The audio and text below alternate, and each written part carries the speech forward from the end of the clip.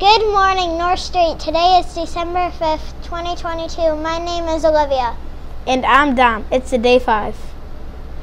The vision for North Street School is to re- prepare students for today and tomorrow by creating more hands on learning experiences. By respecting others' differences, we can create a better school and community for all people.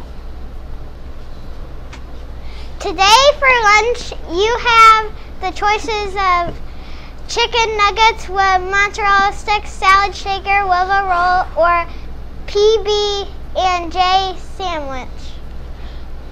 The North Street door decorating contest is back. Our theme is Winter Wonderland.